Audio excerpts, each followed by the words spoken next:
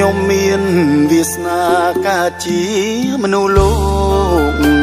មានតែបេះដូងមួយមកប្រាថ្នាច្រកក្នុងជ្រោះលោកីរសជាតិសាសនាព្រោះតែទឹកដីជីវិតរស់សាក់ក្នុងព្រៃ